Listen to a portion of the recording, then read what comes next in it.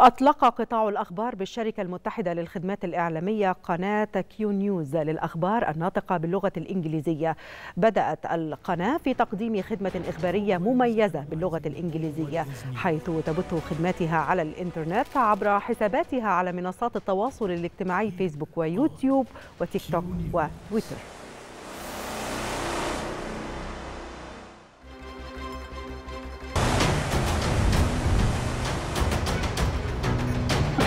Programs analyzing all what is new.